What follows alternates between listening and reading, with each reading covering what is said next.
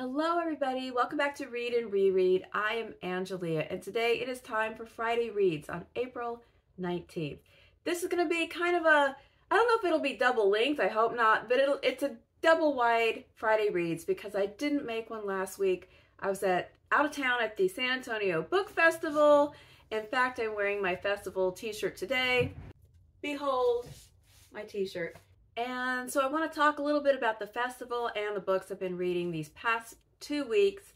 If you watched my uh, Wednesday video, which was the This or That People April tag, I talked a little bit about the my reversal of fortune during my weekend in San Antonio and how I became ill with some sort of a bizarre vertigo thing. And I have residual dizziness and lightheadedness and stuff still going on from that. But I don't want to talk about that all over again. It's just it's it's just kind of hovering. It's it's gradually improving.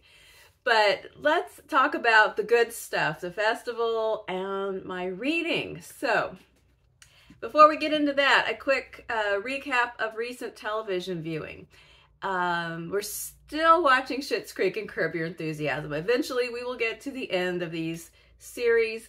And then the best thing we watched over the past couple weeks was Ripley, the new adaptation of Patricia Highsmith's novel, The Talented Mr. Ripley, on Netflix. And uh, I loved the old uh, Ripley movie from the late 90s, but this new adaptation is just beautiful. It's in black and white. It's over, I can't remember how many episodes, eight or 10 episodes.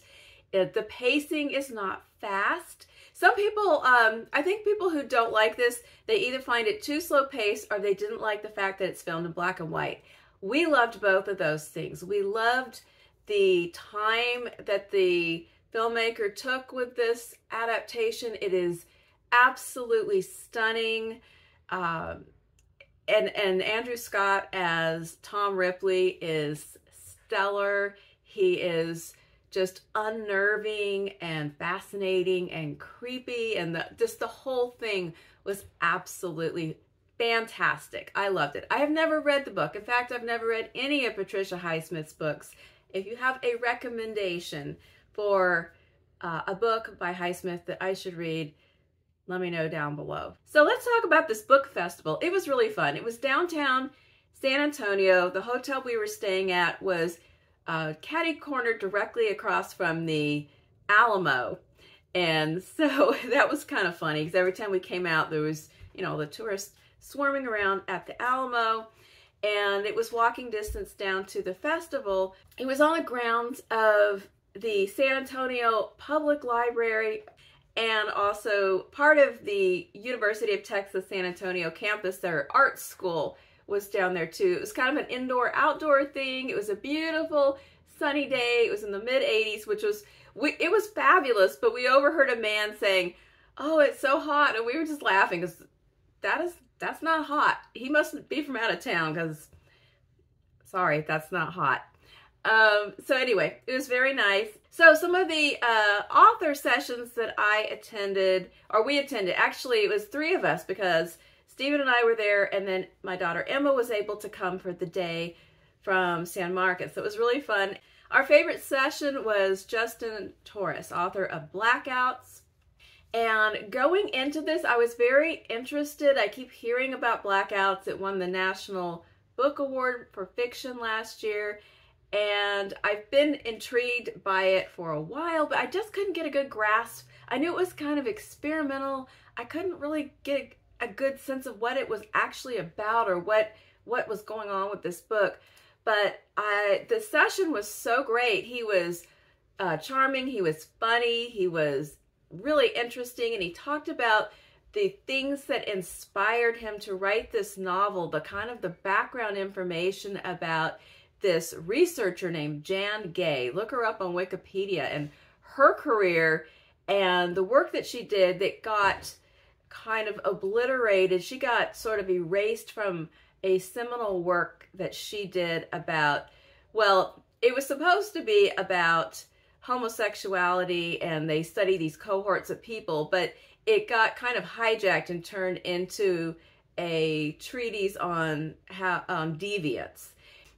he got inspired to write this this fiction and I still can't explain to you what his book's about, but I'm very interested to read it and and then they ran out of copies at the the book tent, the bookseller, a local bookstore called Nowhere Books was the uh, sponsoring bookseller of the event, and they ran out. But I do have a copy now. I have a, a book haul video is is imminent. But I did buy Creep by Myriam Gurba, and we went to her session as well, and she was paired with Roger Reeves, the poet, and that was another session. And then we also attended a session that was in a beautiful chapel, and I'm having a brain fog, but that author was R. Eric, and his last name has left my building, but I'll put it up on the screen.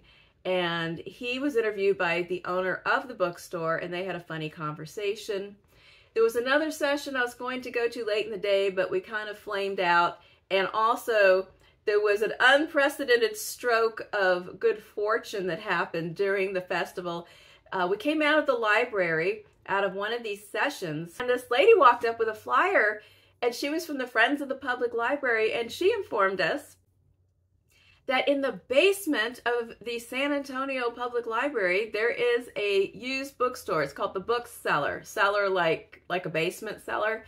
And they were having a half price sale on Saturday.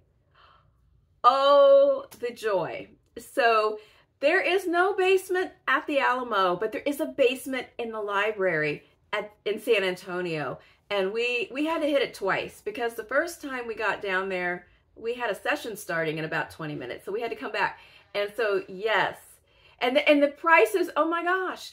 The, the fiction, the novels were like a dollar a piece. And then there was a few specialty items that were that were more and this is one of the best used bookstores I've ever seen. It was all organized library style. They had library shelving. It was Dewey organized. Oh, I'm so excited for Emma because she's moving to San Antonio this summer to start grad school so she can join this library and hit this this bookstore whenever she wants.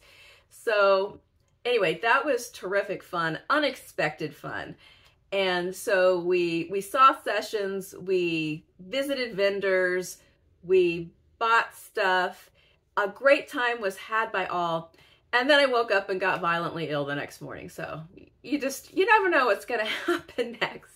Okay, let's talk about this week in reading. The last time I checked in, I think I was still reading Down City by Leah Carroll. This was a book that I selected to read for People April. It is a memoir the subtitle is A Daughter's Story of Love, Memory, and Murder. I talked about it a little bit the other day in my People April tag video, but this was a really good memoir. Leah Carroll uh, wanted to reflect upon and learn more about her parents who both died when she was young. Her mother died when she was four in a mysterious incident.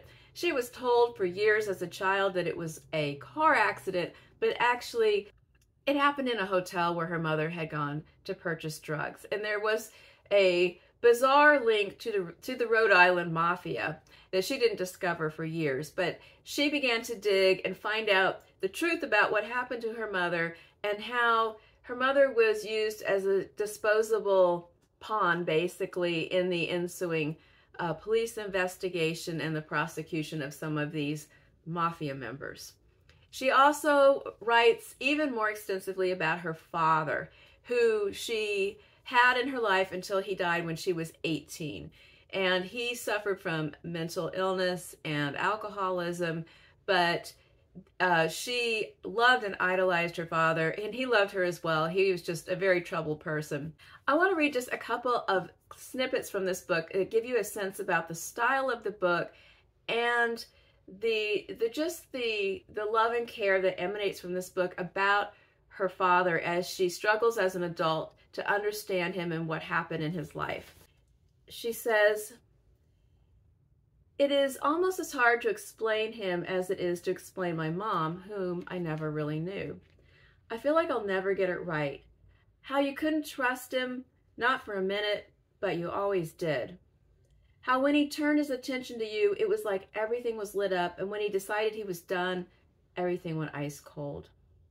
The way that he presented himself as invincible, smarter, faster, funnier, so that when he was vulnerable, it was somehow extra pitiful. The way he scrunched up his chin and poked it with his index finger when he was thinking and he didn't realize anyone was looking. The ways he let me down and I let him down and how I still think about him 20 years later almost every day. Oh, it's so heartbreaking. Um, there, there's a part in this book when they go on a trip together to Washington, D.C. that just, it's just devastating. Um, I also like this, this passage. This is a, a lighter passage. It's about the summer after, I think she's fifth or sixth grade. She's living with her dad. Um, he's a self-educated man. He's really brilliant and talented, but he just never could keep it together for any any long string of time with his various um, struggles that he had. Um, but I like this. This is the description of the summer, and I can relate to this. Not not with the dad problem here, but uh, her her summer reading adventures. Dad always had a stack of books next to him, and he balances a glass of ice cubes and water on top. He moves among Tom Clancy thrillers, books on photography, and biographies of ex-presidents. That summer, I read Clan of the Cave Bear and worked my way through most of the V.C. Andrews books, all checked out from our local library. I love the dirty sections, and I'm proud that I'm allowed to read whatever I want. I think the prose is dark and gothic and wonderful, and I spend many nights in my sweltering bedroom writing my own stories of intrigue and death. The main character is usually what I imagine myself to be in 10 years. I describe her as no nonsense with raven colored hair. And that one, I just had to laugh because I went through that whole thing with those Cave Bear books and the Flowers in the Attic books. And I even remember being a kid and being very, very intrigued by descriptions of raven colored hair. I thought, oh, just to have that smooth black hair. I had a fantasy of having smooth black hair and dark blue eyes. it never happened, but you know, a girl can dream.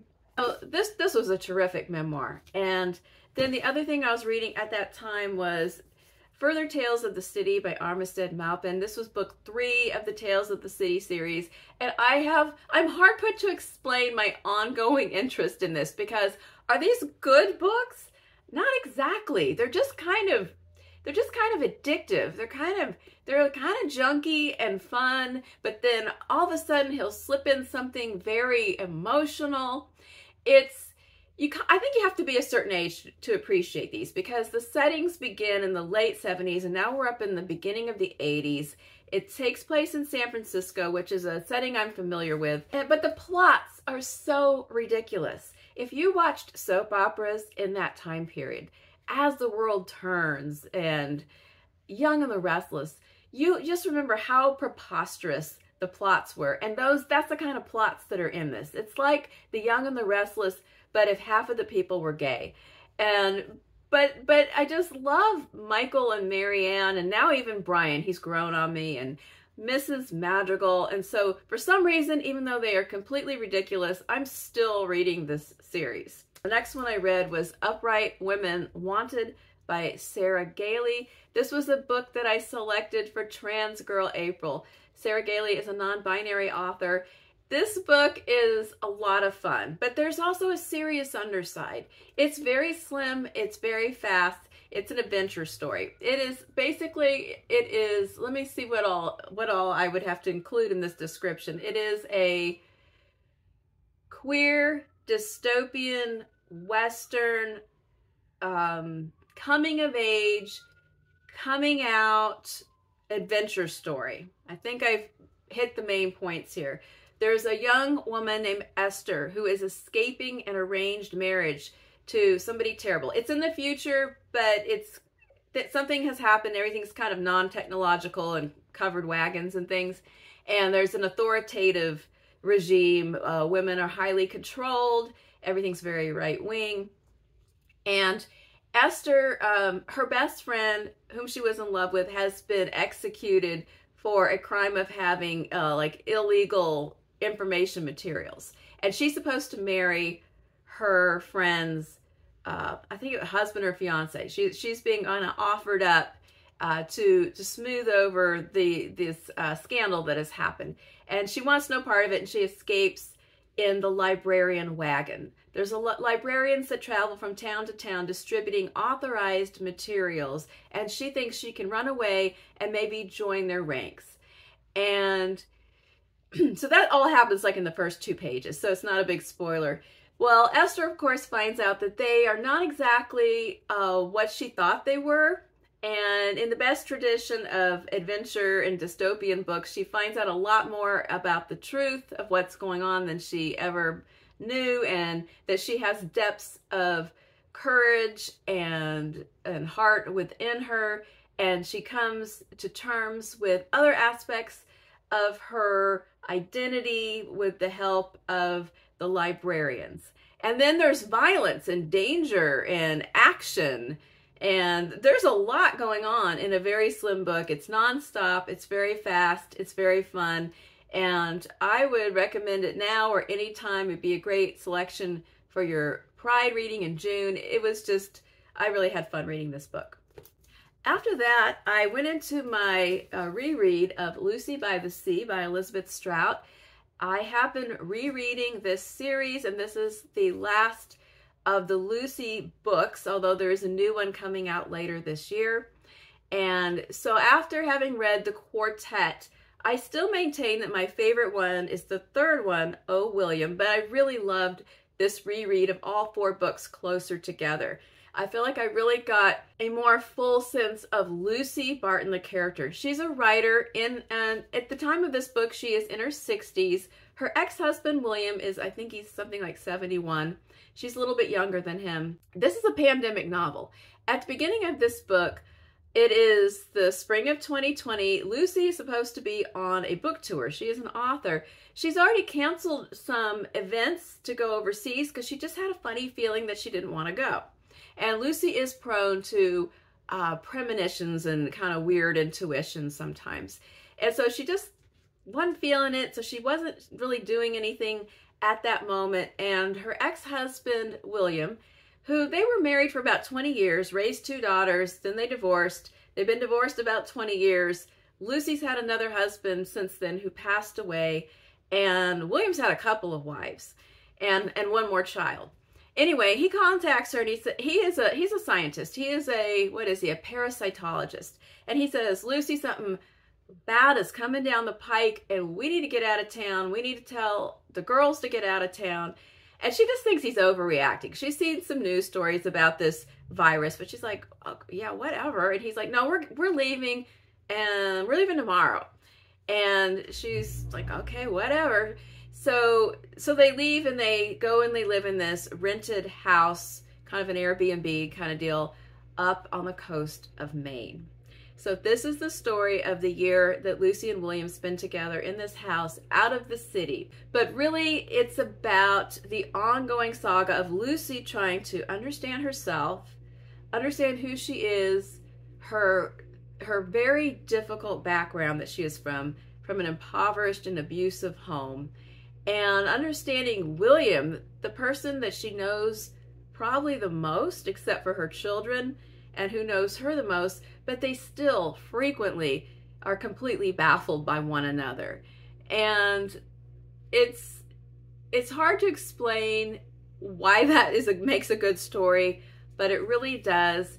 One thing that struck me, this one sentence early on, this is when William is trying to hustle everyone out of town, and Lucy just doesn't get it. But she's telling this from you know, maybe, you know, later. And she says, It's odd how the mind does not take in anything until it can. And that really is a theme not just about 2020, but about this entire series about Lucy spending her whole life waiting for her mind to take things in and then re examining them throughout her life.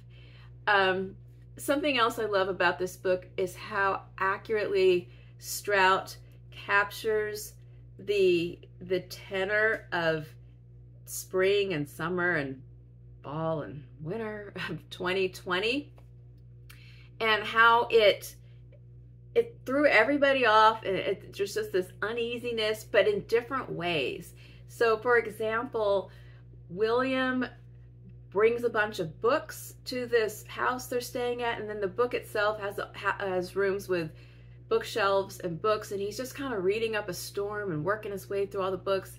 And Lucy just cannot fathom it. Like, she can't focus, she can't read, even though she is a reader, she's just kind of stuck. She can't focus or keep her thoughts on anything. And I thought, there it is. That's that's like the divide of people in that time of 2020. You were either reading incessantly or you couldn't read at all. I was an incessant reader. It was basically I'm in a book, I'm just in a book, and then every now and then I look up, I see what's going on, I hear the news, retreat back into the book. But I thought that that was that was us. That was all of us. We were one of those things or the other, or maybe both as time went on. And if you have still not read the Lucy Barton books, go back and begin with the first one and read your way through and see which one you like the best. Now, uh, my parting thought on this, and this is for people who have read these, is I I don't really like William very much. He did not fare well in this reread event. Um, it was he was kind of on shaky grounds to begin with, and and having read him again, he just bugs me. He I don't like the way he's dismissive of her and how he will listen to her or be empathetic to Lucy when he's in the right mood or on his own terms or when she completely hits the skids.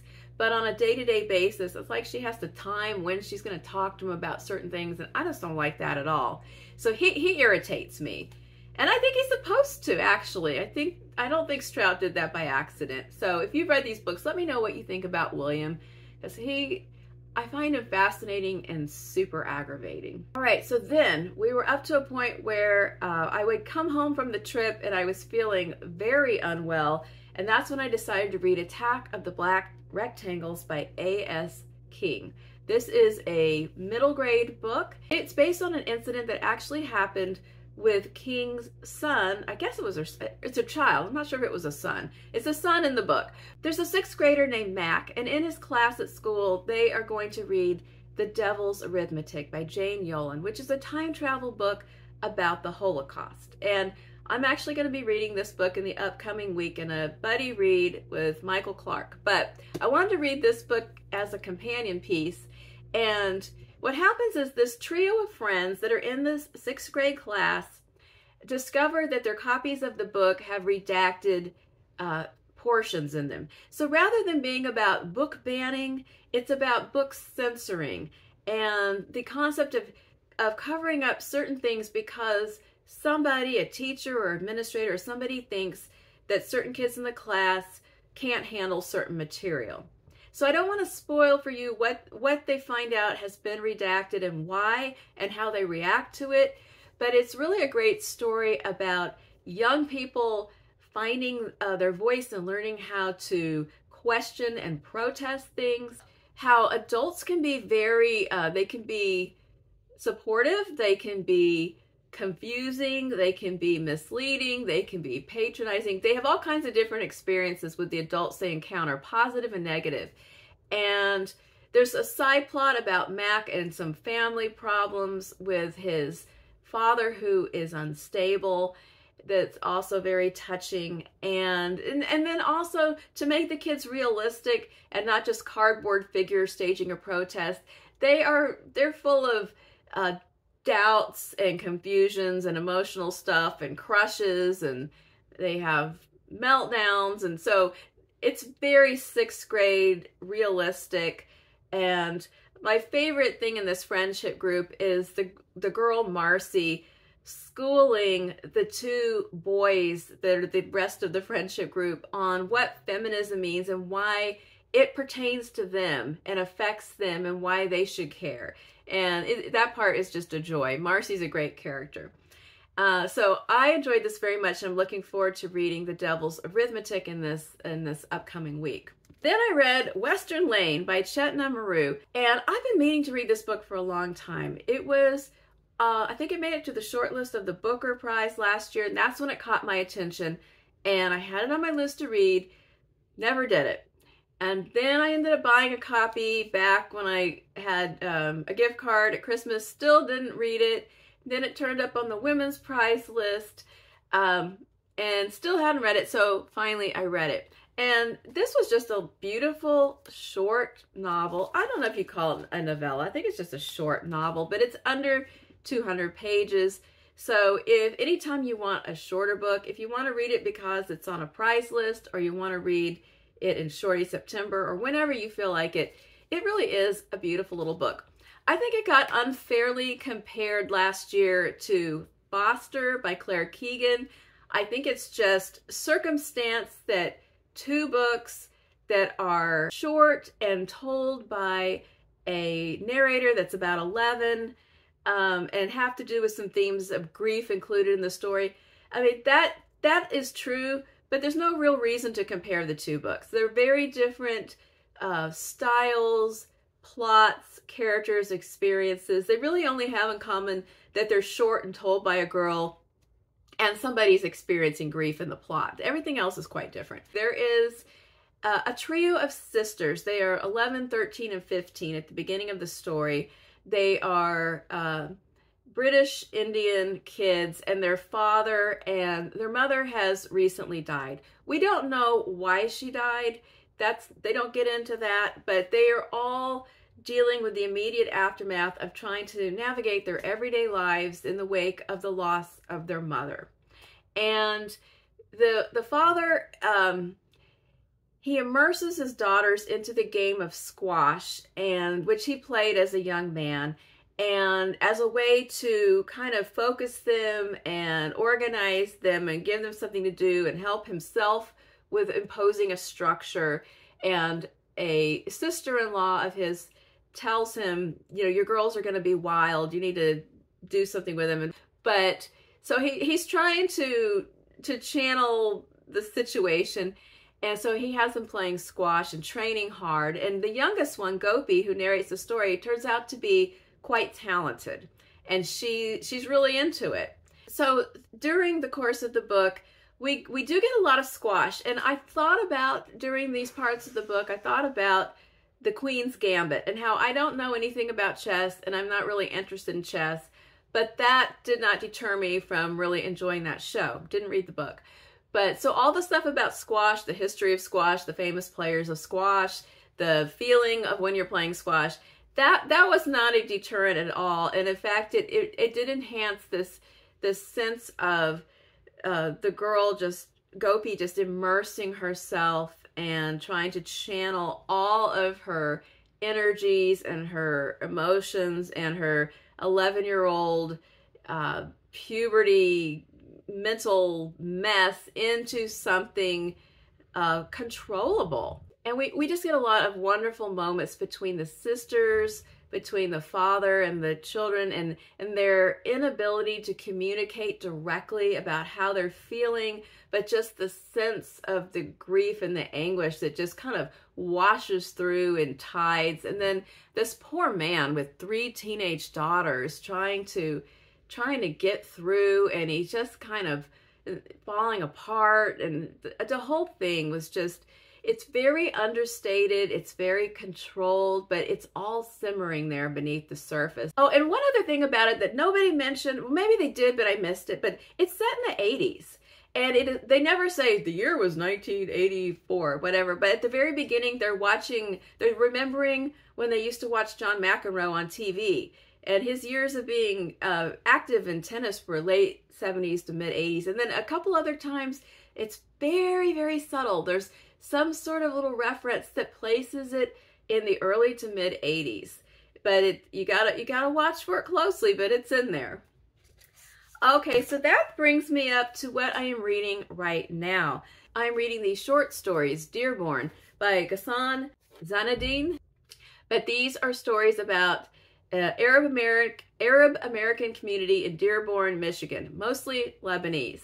And uh, at, I've read I've only read two of the stories so far, but they are they are funny. The first story has to do with a would-be actor who has a job as a census taker in the neighborhood and he's just walking around gaining weight because he knows everyone in the neighborhood and it's customary to offer the visitor a snack and it's rude to refuse it. So he's just eating his way from house to house and then he gets involved in a plot with a a guy who's trying to go to Hollywood. Anyway, I don't want to give it away, but um, and the second book was really funny. Uh, two, there's it's narrated by two collective groups, a group of husbands and a group of wives. And the occasion is somebody has appeared, a stranger has appeared at the community center. He comes in and he's wearing this shocking pink robe and he takes it off and he has a teeny tiny Speedo with images of Lebanon printed on it. And the responses of the men versus the responses of the women. And their attempts to solve the mystery of who this dude is who keeps showing up in these different really small speedos. And um the women give him a nickname based on this scandalous outfit that leaves nothing to the imagination and they call him the beast from the middle east. And the men are kind of jealous because he's he's very in shape and they go to this community center nobody really works out they just sit around in the jacuzzi and speculate on who this guy is but nobody has the nerve to go up and talk to him so that's as far as I've gotten. I've read those two stories. I'm enjoying them very much. And I am still reading Poetry Unbound, which has, well, more than a poem a day, really, because there's 50 poems, but poems and and explorations and essays about each poem. And I'm still enjoying this a lot as well. All right. Woo! That, is that enough? I think that's a lot. And more to come. I'm looking forward to the books I have planned for this week. What have you read this week? What did you love? What did you not love? What is on your horizon that you're excited about?